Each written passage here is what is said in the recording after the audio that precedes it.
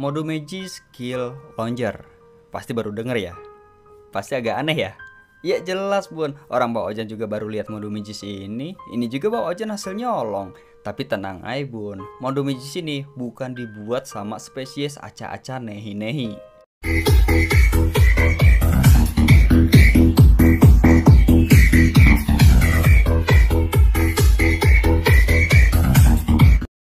Oke bun, seperti biasa kembali lagi sama gua Bang Ojan Santoso, tukang salep kulit kadal.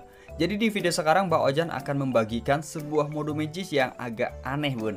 Ya bukan aneh sih, tapi unik. Ya, ya bukan unik sih, tapi ya, ya gitulah. Baca. Nah nama mode magisnya adalah Kill Launcher. Ya simple juga sih, tapi ya perlu Bang Ojan jelasin juga. Nah, mode magis ini dibuat oleh orang Vietnam dan bahasanya juga menggunakan bahasa Vietnam, Bun. Nah, manusia yang bikin mode magis ini adalah ya, ya susah juga sih jembutinnya. Ya panggil aja namanya Bambang.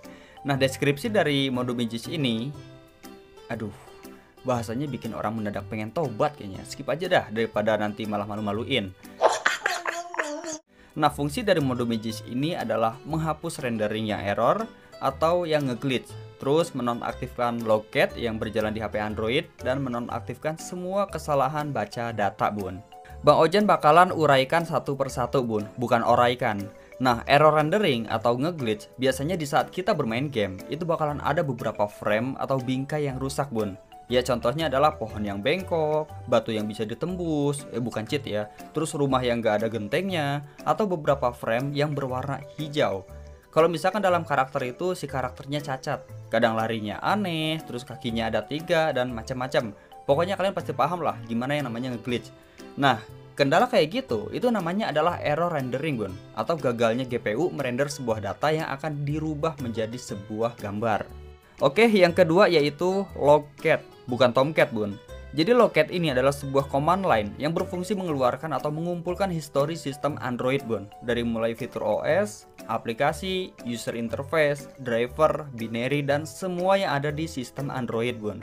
Jadi kalau misalkan loket diaktifkan, maka error-error yang terjadi di HP Android itu bakalan dikumpulkan di sebuah command line.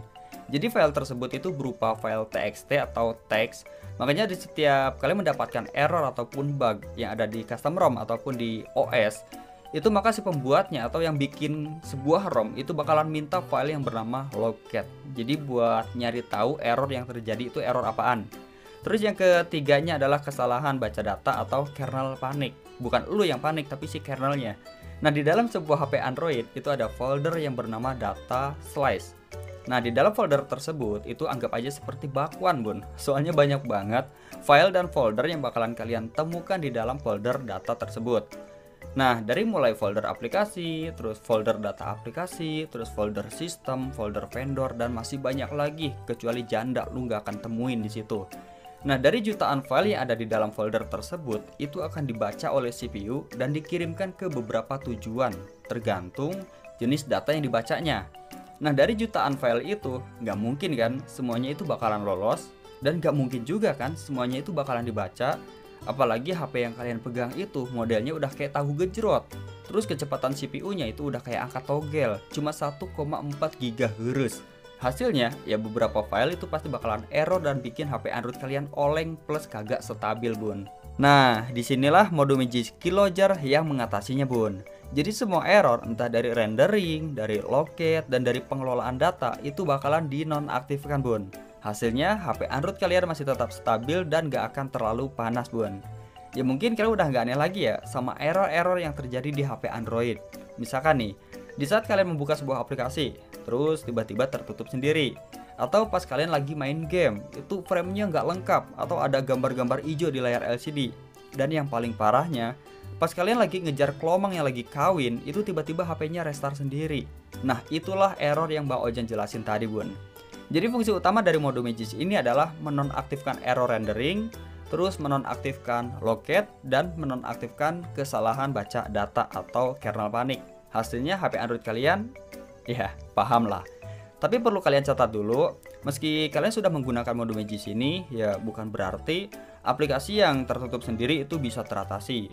Terus game yang keluar sendiri itu bisa lancar jaya Dan HP Android yang sering restart sendiri itu tiba-tiba anteng kagak modar-modar Ya semua itu tergantung dari berapa banyaknya error yang ada di HP Android kalian bun Oke Nah kalau misalkan kalian pengen coba ya silahkan kalian download aja filenya untuk linknya sudah Bang Ojan siapkan di kolom deskripsi bun. Dan jangan lupa uang parkirnya bun. Cukup ditonton aja iklannya yang gak apa-apa di skip juga. Bang, gimana dengan pengguna utuh bancet? Ya semoga aja amal ibadah kalian diterima di sisinya, amin.